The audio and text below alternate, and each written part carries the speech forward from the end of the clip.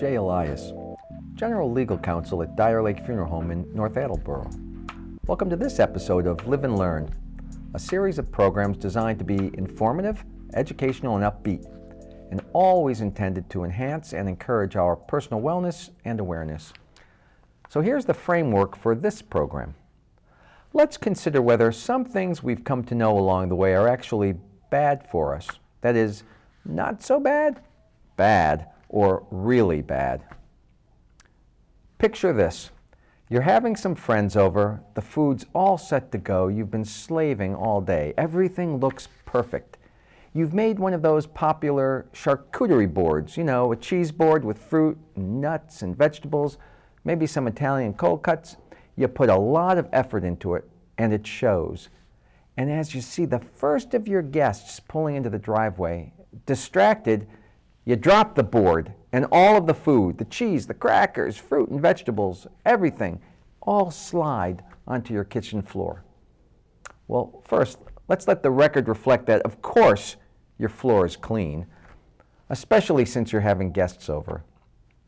But the question I have for you is this Do you quickly pick up the food you've dropped, wipe or rinse off what you can, and put as much back on the tray as possible as soon as possible? Or do you toss it all and open up a box of Triscuits and pour some M&Ms in a bowl? And that brings us to something most of us know as the five second rule. That is, if food only briefly, five seconds or less, falls on the floor, is it safe to eat?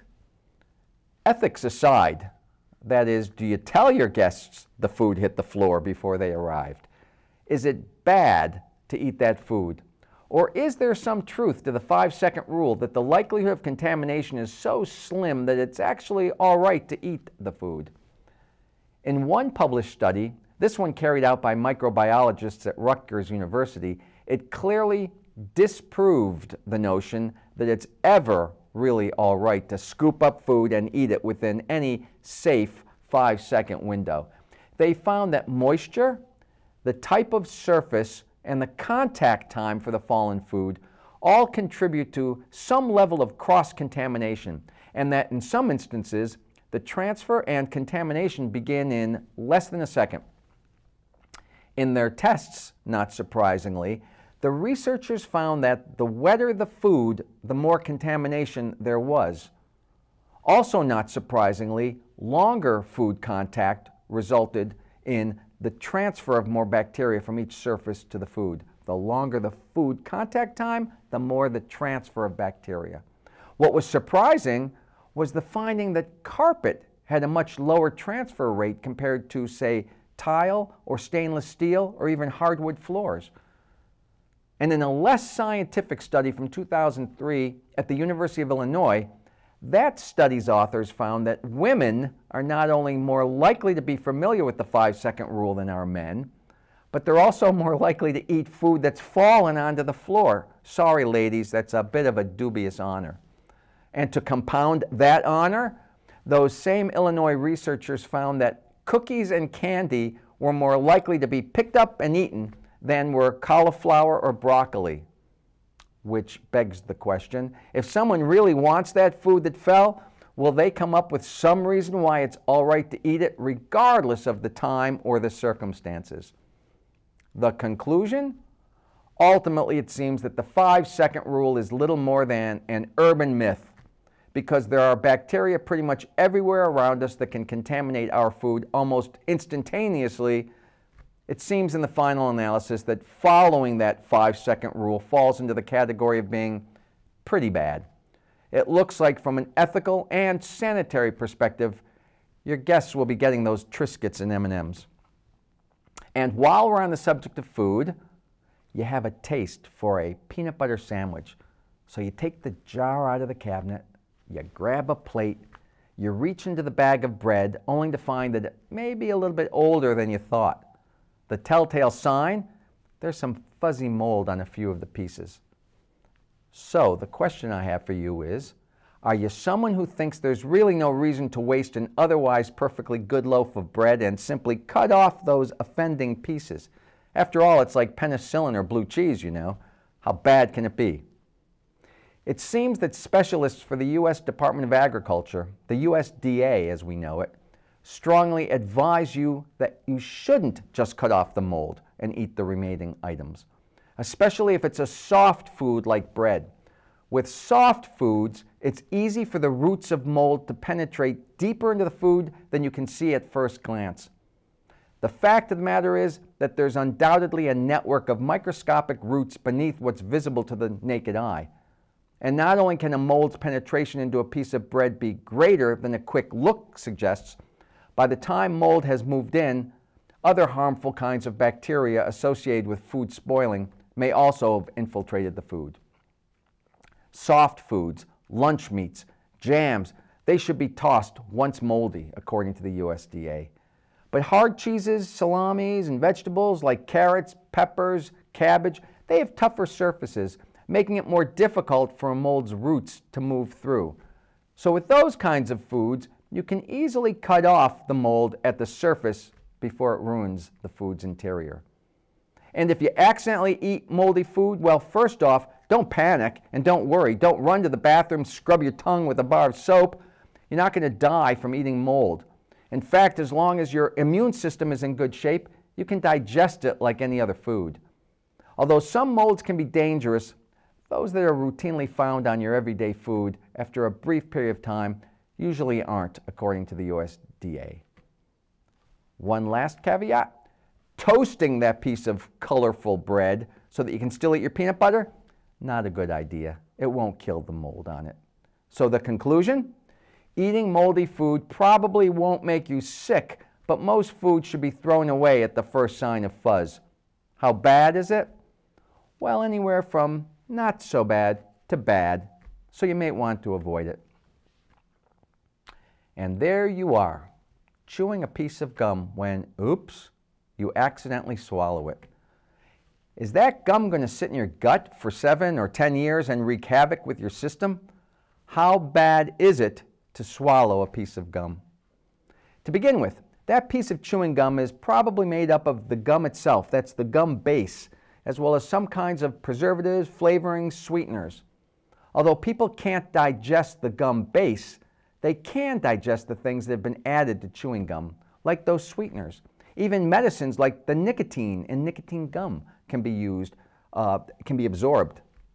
The body absorbs those ingredients through the act of chewing it itself. The rest of it, the gum base, well, out it goes. I'd be remiss if I didn't say that in rare cases, swallowing large amounts of gum or many smaller pieces over a very short period of time can potentially block the digestive tract. But we're talking about large amounts. So the conclusion is swallowing a piece of gum on occasion is really not so bad. Here's one for you bad, not so bad, pretty bad.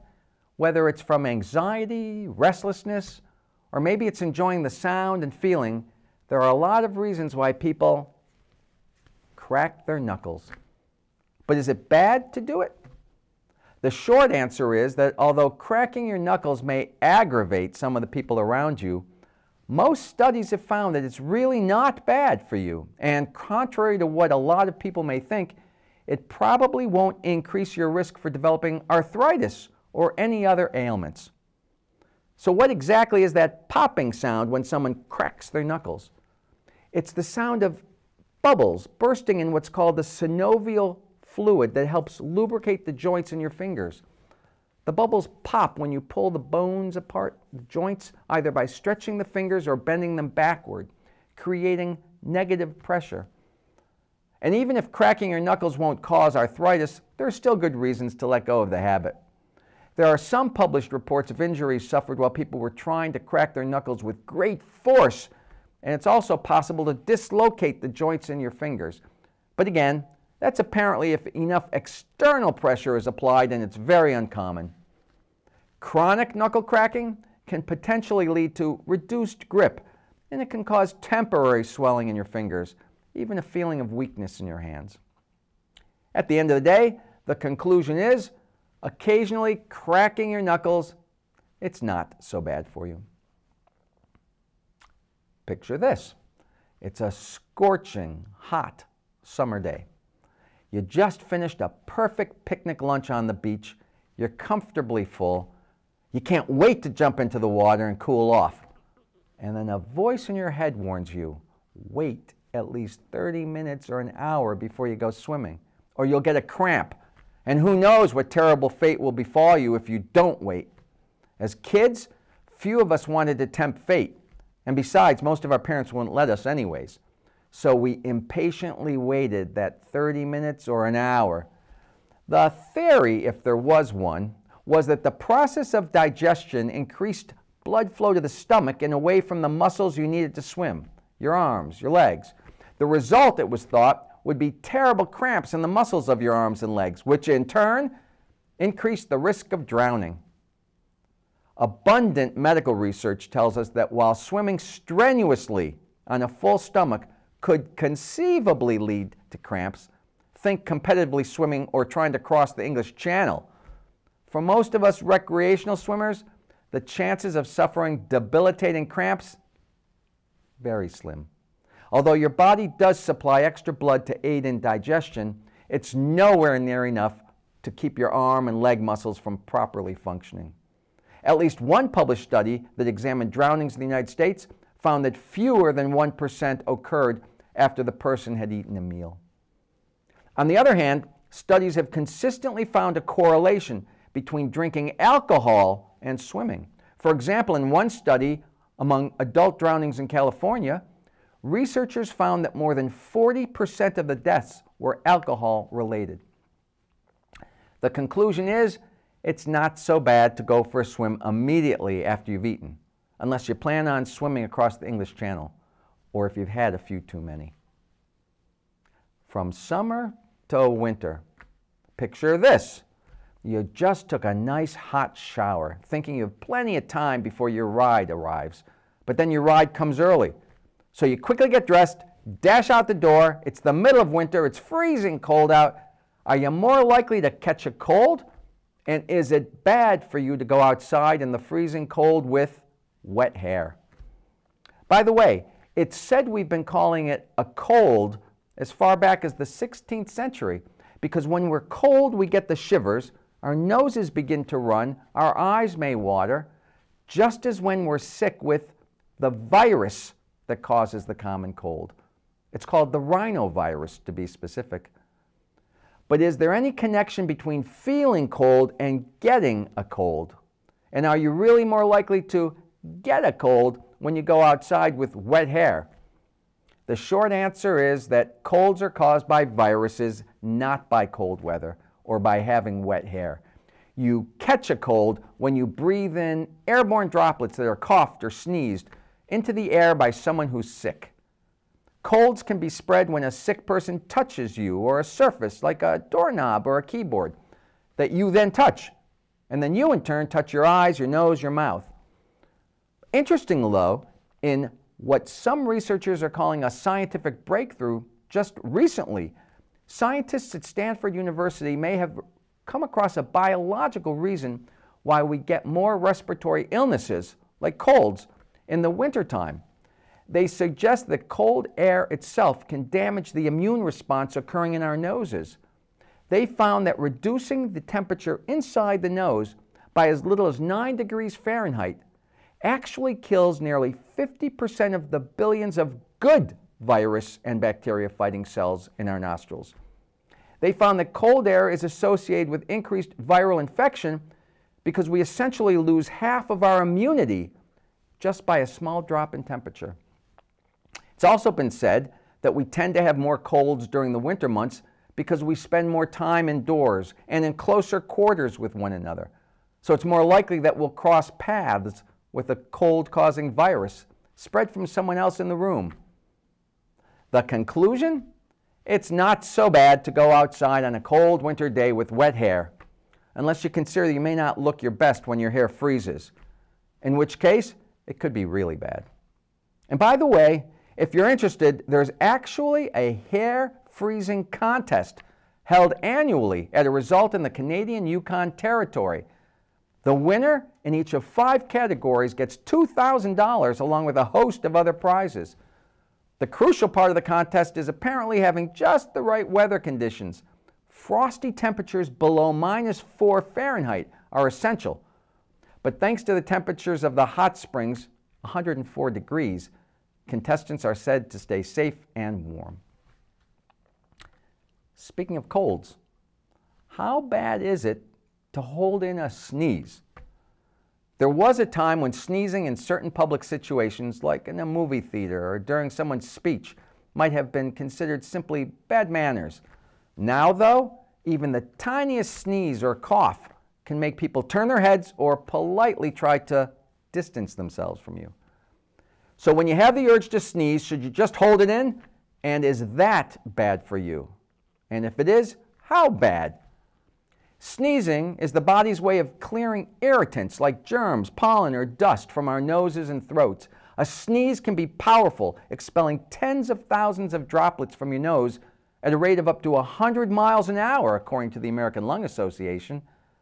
Some people have a less powerful sneeze reflex, and that, it seems, may lead to a number of sneezes in a row. God bless you, God bless you, God bless you. Then there are those who try valiantly to either avoid sneezing or completely stifle their sneezes. The question is whether it's bad to hold in that sneeze. It seems that doing so comes with some potential negative side effects. Some of them could be serious. According to a published study in the American Journal of Rhinology and Allergy, closing off your airways during a sneeze can place up to 20 times more pressure on your airways compared to simply letting out the sneeze. And although that alone may not be dangerous, you'd be putting pressure on your diaphragm, the muscle in your chest, and there's the possibility that you could actually cause damage to your eardrums by holding in a sneeze. Our nose and our ears are connected by tubes. And if you hold in a sneeze, that increased pressure in your nose and in turn your ears could potentially damage your eardrums. The conclusion it's typically not that bad to suppress your sneezes, but it could be pretty bad. You should let your sneezes out whenever possible. And as we've come to learn from the Centers for Disease Control and Prevention, it's recommended that in order to keep your sneeze from turning into a super spreader event, you should sneeze into your elbow or cover your mouth and nose with a tissue. So, we've learned about wet hair on a freezing cold day, but what about having a bit of alcohol to warm you up on that cold winter day? How bad is it? Since the early 18th century, monks living in the snowy, dangerous St. Bernard Pass, a route through the Alps between Italy and Switzerland, kept dogs to help them on their rescue missions after bad snowstorms. It's said that over the course of about 200 years, thousands of people, from lost children to Napoleon soldiers, were rescued because of the heroic dog's uncanny sense of direction and resistance to cold. Since then, and through much crossbreeding, those dogs have become the domestic St. Bernards that we're familiar with today. And often those dogs would find buried treasure, uh, treasures and travelers, dig through the snow, lie on top of the injured, and provide warmth. And in legend and in paintings, depictions over the years can you picture those St. Bernards with casks around their necks? Casks of liquor, thought to be brandy or whiskey, strapped to their collars to help warm travelers. Although the use of whiskey as medicine wasn't a new concept, and it could very well have been a part of a rescue operation, there really aren't any historical records to conclusively document the practice. So that brings us to the question of whether it's actually a good thing to drink alcohol to warm up on a freezing day. The truth is that drinking alcohol actually makes your body temperature colder because alcohol is a vasodilator. It causes your blood vessels to dilate. That dilation is the warm feeling you first experience. But when your blood vessels are dilated, it's harder for your body to constrict them. And constricting blood vessels would minimize the blood flow near your skin, keeping the core of your body warm. And alcohol impairs your body's ability to shiver, which is one of the most important ways your body keeps itself warm. If you do start feeling warm after that nip or two, well, just know that if your body starts sweating a bit, that will only bring down your body temperature further. It also goes without saying, but I'll say it anyways Alcohol has a tendency to impair judgment. People feel warmer, so they don't keep their gloves or hat or coats on, leading to hypothermia. So the short answer, as you probably can guess, is that it's actually a really bad thing to drink alcohol while outside on a cold winter's day. So picture this. There you are, sadly lost at sea for days on end with the hot sun beating down on you, nothing left to drink. How bad is it if you start drinking from that vast sea of water you're floating on when there's nothing left to drink? And we're not talking about the occasional gulp of salt water when you're frolicking in the ocean or at the beach. The National Ocean Service, a part of the National Oceanic and Atmospheric Administration, says this Drinking seawater can be deadly to humans. As we all know, seawater contains salt. While we can safely ingest small amounts of salt, the small salt content in seawater is much higher than what can be processed by the human body. When we consume salt as part of our daily diets, for example, we also drink plenty of liquids, and that helps to dilute the salt and keep it at a healthy level. The net result of drinking too much seawater is that you suffer from dehydration. And so the conclusion it's really bad to drink more than an occasional mouthful of salt water. It seems that if you're lost at sea and keep drinking salt water, you'll keep adding to the amount of salt you need to get out of your body. Not a good thing. And what if all that was left on your life raft were bags of black licorice, real black licorice, made from licorice root extract? How bad would it be if that's all you ate for days and weeks on end? Most of us are familiar with Twizzlers candy. Actually, Twizzlers Twists, to be exact. First produced in the late 1920s by one of our country's oldest confectionery firms, the company was acquired by the Hershey Company in 1977. Those original Twizzlers, the flavor was licorice and only licorice. In the mid 1970s, the company began to expand its flavors to include grape, cherry, strawberry, and today, strawberry is far and away the favorite Twizzlers flavor. Although most people refer sort of generically to Twizzlers as licorice, the truth is most Twizzlers contain absolutely no real licorice. And those that do have only a tiny percentage of licorice root extract. It seems, though, that there have been several similar case reports in medical journals to the one I'm about to tell you which, about, in which patients experienced a host of heart related problems traced directly to black licorice. In fact, in 2020, it was reported that black licorice was the culprit in the death of a 54 year old man in Massachusetts. How is that possible? Overdosing on black licorice? According to some medical experts, as well as the U.S. Food and Drug Administration, the FDA, the problem is that some licorice candy contains an ingredient called glycyrrhizin, a sweetening compound derived from the licorice root when eaten in excessive quantities, like that poor fellow who ate a bag and a half in the course of three weeks, a bag and a half a day in the course of three weeks, who also had some pre existing heart problems, eating that much of that enzyme and that chemical apparently caused heart related complications. So, what does Hershey's, the maker of Twizzlers, say about all of this?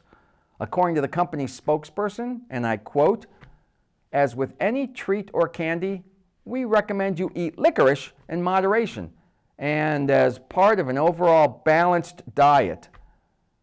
Hershey's added that a majority of its Twizzler sales do not come from black licorice, but rather its red licorice line, including strawberry and cherry flavored products. And those don't contain any amount of that chemical ingredient, glycyrrhizin. Although it does sell a very small amount of traditional Twizzlers black licorice, made with real licorice root extract, the amount of that extract and the natural chemicals are minuscule, well below the US FDA's limitation. The conclusion enjoy your occasional piece of black licorice. And as with everything else in life, to do so in moderation, not so bad. I'm Jay Elias. Thank you for watching this episode of Live and Learn. I hope you enjoyed it. I look forward to your joining me again for another program designed to enhance and encourage your personal wellness and awareness. Until then, remember, it's never too late to learn. And in closing, consider this. Although it's been stated many different ways, Brazilian author Paulo Coelho said it quite succinctly. When you repeat a mistake, it's not a mistake anymore. It's a decision.